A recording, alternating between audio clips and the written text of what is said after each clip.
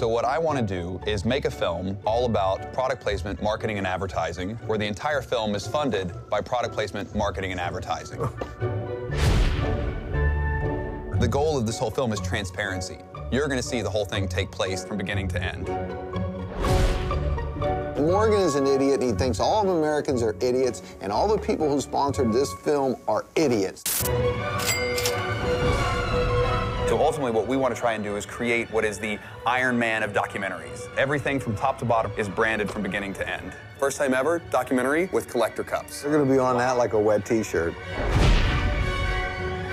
Is there a plot? Liz, this is the movie right now. I think the thing to do is go get a client. Can we please get mane and tail to be the sponsor? What are the words that you would use to describe Ban? Ban is blank. That's a great question. You will never put Morgan, your average Joe, on a billboard, ever. What if we loaded it with nudity? Yes, that would help. We want to sell the above the title sponsorship for a million dollars. Is it going to be POM Wonderful? So does a million dollars come with a 100% guarantee? For me, yes. We're in. Out of this film may come a transformed, corporatized Morgan Spurlock. That's your challenge. Well, have you got a pair of these?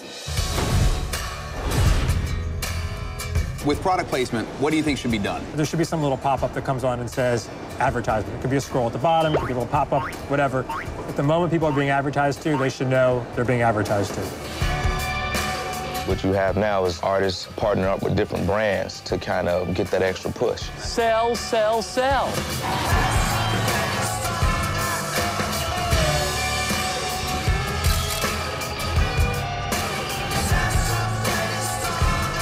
POM Wonderful presents the greatest movie ever sold. Where should I be able to go where I don't see one bit of advertising? S- to sleep.